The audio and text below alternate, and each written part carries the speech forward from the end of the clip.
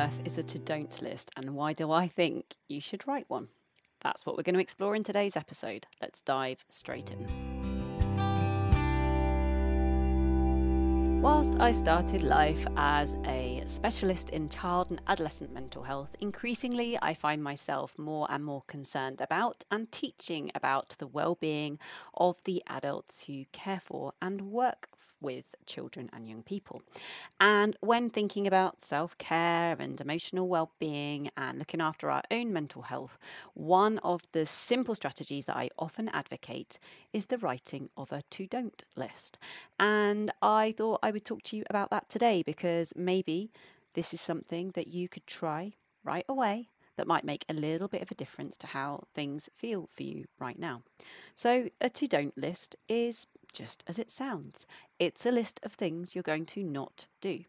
Now, the reason that this is helpful is because often one of the things that makes self care really difficult for us is lack of time.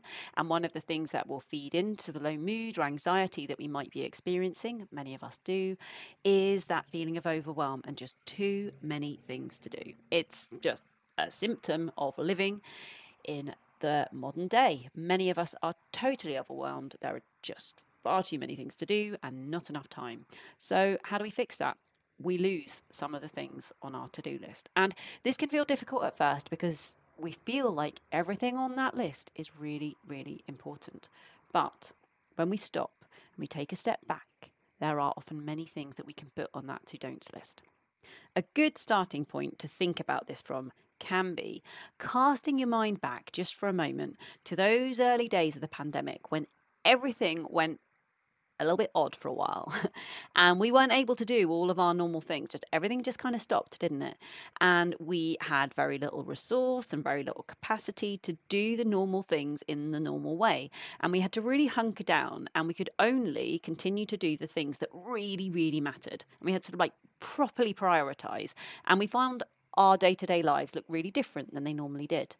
And what's happened since then is as things have reverted to some kind of normal, though one hesitates to use that word, but you know, things are a bit more like they were pre pandemic now than they have been for a long time. And one of the things that's also happened is that our kind of day to day activities have returned somewhat to what they were before. We're probably doing many of the things that we used to do pre pandemic. So that kind of hunkering down and prioritizing and taking a very sort of essentialist type approach that we might have done in those early lockdown days is, is kind of gone for many of us. So, what I'm suggesting today is we write a to don't list, we work out where can we carve some more space and time in our day to day life in order that we can better look after ourselves, to free up a bit of mental capacity, build a tiny bit of space, and just reduce the overwhelm a bit.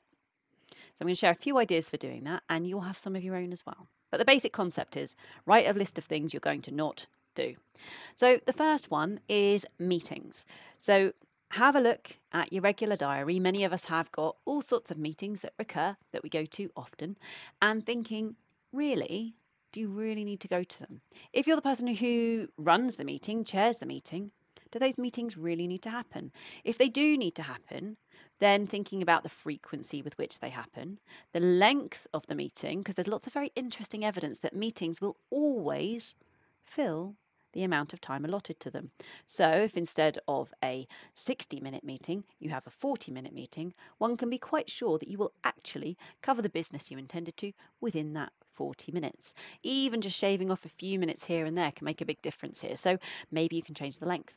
Maybe you can think about, well, who really needs to be there? Do all of these people need to be invited? Because this might help with their to don't lists too.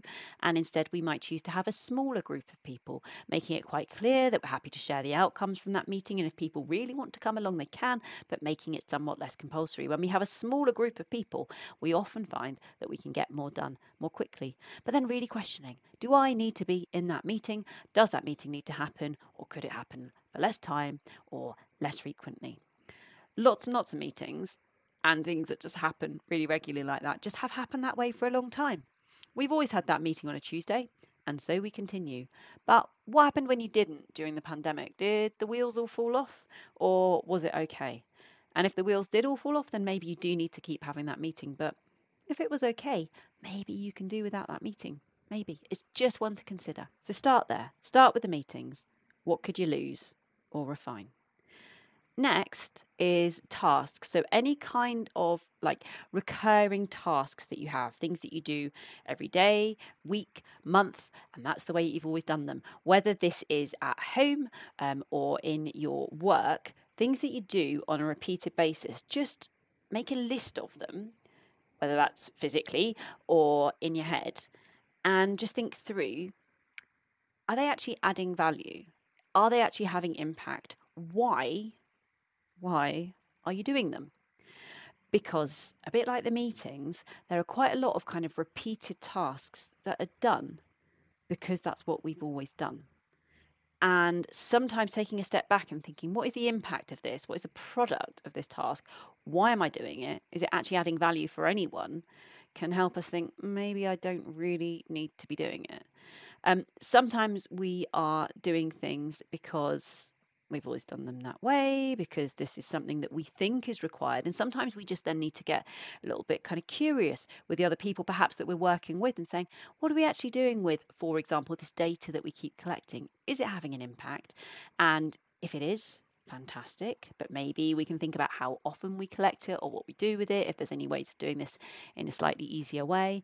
If it's not being used or not having an impact, then just being like, do we need to keep doing it? Just be curious. It's not about being critical, it's just about being curious. Is this the best possible use of my time? At home, we can think about these kinds of tasks too. What are the regular tasks that happen in your home? Uh, do you need to keep doing them? Quite as frequently as you do. If you change your bedding every five days, what happened if you changed it every 10, for example? Just beginning to get a bit curious about these things and not always continuing to do things in the same way because you've always done them that way. Just getting curious. Is there anything we can drop off? Are there any things that you're doing that don't really need to be done? If suddenly you were robbed of a day a week because you had some new responsibility that came along that just superseded everything else, maybe someone got very sick and it's your day to, to be with them, to look after them you had to find that extra day. What are the things that are least priority for you that you could drop? Can you drop those things anyway without the need for a sick friend or relative? Another really fruitful source of things to add to your to don't list is your email inbox and any other inboxes you might have. I have reframed email in my mind as somebody else's to do list. Everything that comes into your email inbox is something that somebody else wants you to do. And so that doesn't mean that those things don't need to be done, but our kind of setup of our brain and the dopamine hit we get when we get new messages and the way that that's quite a rewarding thing for us to be checking and checking and checking and we feel that need to immediately reply and immediately respond and that's almost become a kind of expectation that's not helpful because it means other people's priorities are continuously going on our to do list above our own. If instead we can be a bit more disciplined about how we feel about and respond to the things that enter our inboxes, then perhaps we can get our priorities a little bit straighter. Maybe we've got a really clear idea about what our priorities are today, this week, this month, and maybe those things in our email inbox fit there somewhere, but perhaps not right at the top.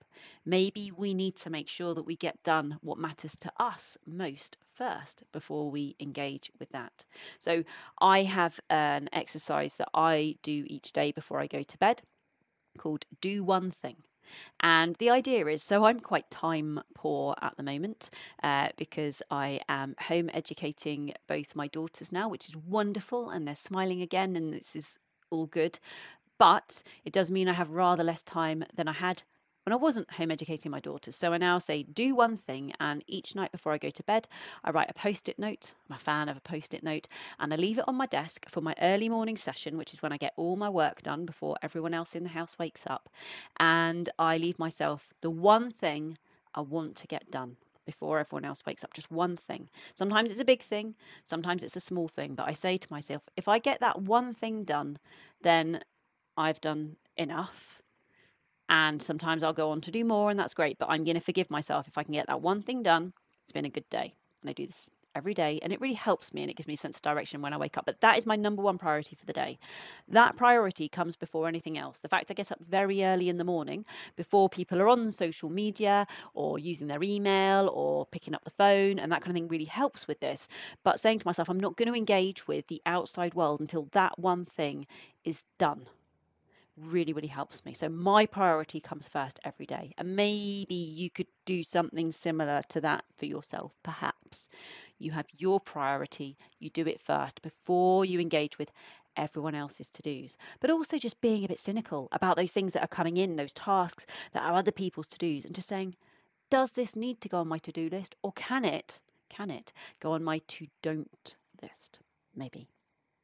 Finally, in terms of taking things off of our to do list and adding them to our to don't list, I would like to advocate for positive delegation.